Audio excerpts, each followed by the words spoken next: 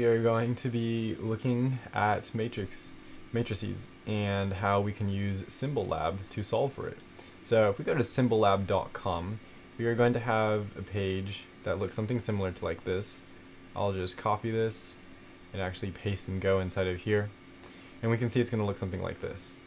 Uh, now if we want a, and there's a bunch of different kind of ways we can use calculators here. Now there's even a section that's dedicated just for matrix calculators. It looks a little bit different than this. If you want the exact one, I guess it's symbolab.com slash solver. And then it's going to take you to this. So symbolab.com is a super basic one like this. And if we have the slash solver, it's going to look something like this. And we can expand it. Um, and it looks very similar. But the compact gives us the matrices right here. So this is the only difference. So you have the full and you compact. Now, if we have some problem that gives us something like this, where we have our x, we have y's, and we have z's, that is a lot to deal with. So instead of actually, you know, going through and solving for x, solving for y, solving for z, what we can do is make a matrix for it.